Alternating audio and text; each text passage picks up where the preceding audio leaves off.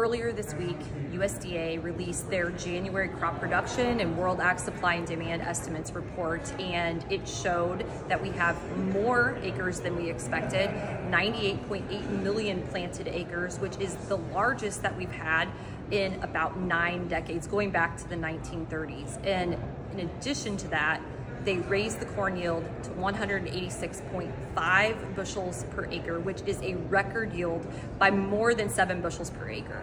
So together, these two changes mean that we are looking at a corn crop that is 17 billion bushels, another record-setting production year, and not just by a little margin, but by almost 11%.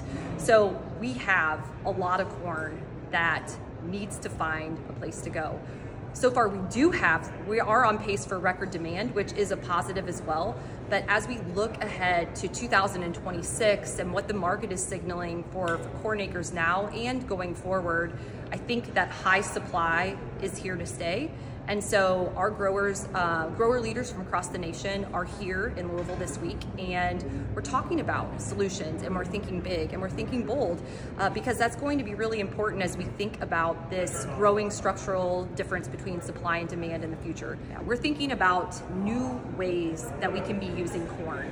We, you know, things like exports and feed demand and on-road ethanol use have all been major market segments uh, up until this point, and they will continue to be. But as we have more corn that we're producing, we need to think of new ways to use it too. And one of the exciting things is that ethanol can be used in a lot of different ways than just on our roads. Um, it can be used in aviation and maritime. It can also be used in products like plastics and fibers. And so these are some of the things that we are talking about. 2026 is a pivotal year. High supply is here to stay. And so our future depends on how effectively we can protect the demand that we have and build new demand for the future.